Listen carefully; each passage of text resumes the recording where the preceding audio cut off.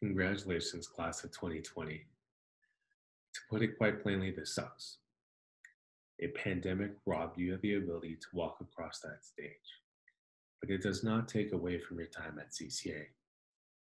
From working in the studio with your friends, getting a really good critique from a faculty you admired, running to catch the shuttle or being late to class because of the shuttle, trying your first yam sandwich from A2, or juggling jobs, class, studio time, and everything in between.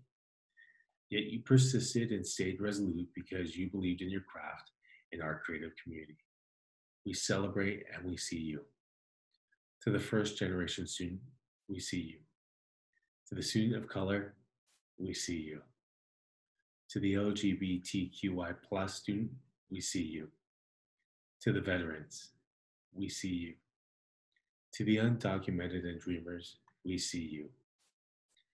Don't let the pandemic take away from the fact you are the 113th class graduating from CCA. And as alums, you're now tasked to cultivate creative action, be radically responsible, and think beyond today.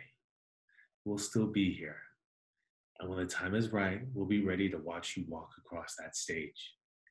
Congrats and stay Chimera strong.